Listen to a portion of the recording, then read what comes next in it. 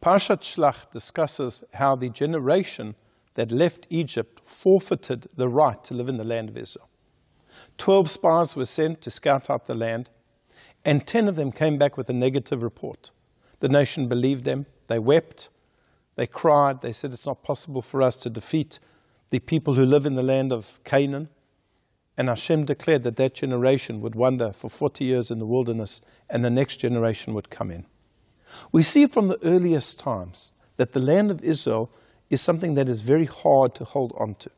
And indeed, even when the people of Israel came into the land of Israel and they lived there for hundreds of years, eventually they lost the land when the first temple was destroyed and they were sent into exile in Babylon. And then again later in the times of the Romans when the second temple was destroyed after having stood for four centuries. And again, the Jewish people were cast into exile into the diaspora all over the world. What makes the land of Israel so hard to hold on to? The Talmud tells us that God gave the Jewish people three wonderful gifts, but that those gifts come with yisurim, with suffering, with difficulty. One of them is the Torah, another one is the world to come, and the third is the land of Israel. They are wonderful gifts, but they come with a great deal of pain and suffering and difficulty. Why is this so? And the Maharal of Prague tells us because what they all have in common is that they are kadosh. They are holy. They are spiritual. They are set aside. The world to come, which is a place where we will receive ultimate reward. In order to, to earn that, one has to go through an enormous amount of difficulty in this world to overcome their desires, to overcome their temptations and their lusts, and to serve God with a great deal of mesirat nefesh, self-sacrifice, in order to earn the world to come, which is completely spiritual, and therefore our physical beings are really against it and opposing it the whole time. The Torah, the study of Torah, greatest gift that, the, that God gave to the Jewish people. It's wonderful.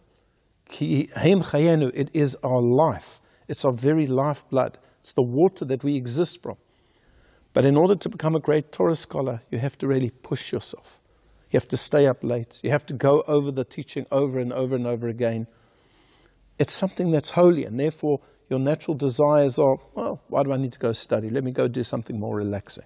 And then there's the land of Israel. It's a physical land.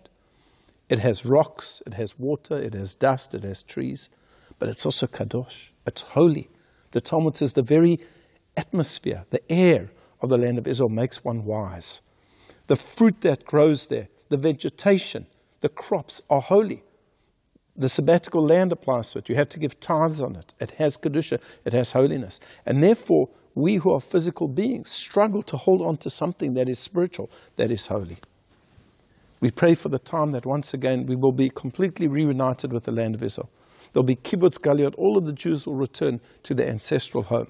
And once again we could celebrate this incredible gift that God has given us and for which we have gone through so many challenges and suffering throughout the ages. I wish you a Shabbat Shalom.